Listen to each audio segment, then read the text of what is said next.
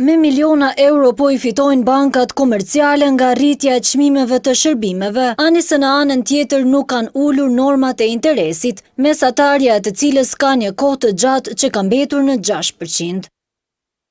Vetëm në muajin prill bankat kanë fituar njëzet e shtatë pikë dy milionë euro, nga tarifat dhe komisionet, apo tre pikë katër milionë euro më shumë se prilli i një viti më parë. Ndërsa për katër muajt e këtij viti, vlera e fitimeve shkon në shtatëdhjetë milionë euro. Rritja e çmimeve të shërbimeve ka shqetësuar qytetarët, të cilët edhe ashtu po përballen me rritjen e madhe të çmimeve të shumë produkteve bazike. Të gjitha gjërat duhet të kenë regullat e veta, është e vërteta që edhe banka duhet të kanë një limit sa të të mund shkojnë, e jo në një anarki nuk shkohet, po duhet ligjet të rregullojnë. Tash ne pasi s'kem siguri me i lanë paret te shpia, duhet me jasësh ato janë rrëna, po çka me bo, kur s'ke tjetër mundësi, këto janë dhanë ta shumë krahasim me ato, për shambull, ti i len aty, po kur sot, veç ke humb prej aty, se kur nuk fiton kurgjë hiç, për shambull, kurrfarë përqindje ta që, për shambull, I shfrytëzojmë parat e tua me vite me vite a? Bile për me, me kufizu për disa kategori për shembull që i kanë të dalat më t'ulta. Se për shembull t'i marr 5 euro në muj. Ai që ka për shembull pensionin ose tjetri që ka do pak pare se s'ka shumë. Po për qito është shumë, se për një gjërë të tërë, po t'i fshin. Ose çdo herë që shkon me tërhjek paret, të merr diçka. Po është, njëzet tridhjetë cent, po ti katër pesë euro, po më lidhën ato.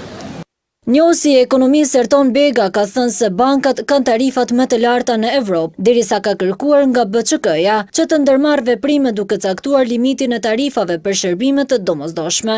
Kjo vjen si pasojë e mungesës së rregullimit adekuat ligjor, i cili do të përcaktonte lartësinë e tarifave të domosdoshme dhe në këtë rast bankat nuk mund të operojnë në mënyrën siç operojnë tani, që përmes SMS-ave njoftojnë klientët e tyre për rritjen e tarifave të shërbimit bankar. Këtë iniciativë duhet ta marrë Banka Qendrore, e cila duhet të nxjerrë një vendim përmes të cilit përcakton lartësinë e tarifave për shërbimet e domosdoshme bankare.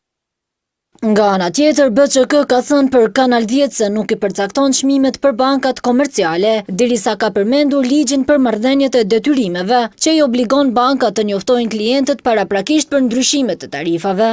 Ky institucion ka bërë të ditur se janë duke punuar në draft-ligjin e ri për shërbimet e pagesave, përmes së cilës synohet edhe lehtësimi i lëvizjes së klientëve nga një bankë në tjetër. Kjo lloj llogarie mund të mbartë kosto minimale për personat që aktualisht nuk kanë qasje në llogaritë bankare. Paraprakisht janë marrë masa, diskutim me sektorin bankar në lidhje me përfshirjen financiare dhe produktet bankare që ofrohen nga to. Informacioni i përfituar nga këto diskutime mund të ndihmojë BQK-në gjatë draftimit të ligjit për transpozimin e këtyre direktivave të BE-së, por edhe në lidhje me përcaktimin e komisioneve për instrumente dhe shërbime. të cilat do të lidhen me këto llogari bazike. Kanal dhjetë ka pyetur shoqatën e bankave rreth arsyeve të rritjes së shpeshtë të çmimeve të shërbimeve, por nga kjo shoqatë nuk kanë kthyer përgjigje.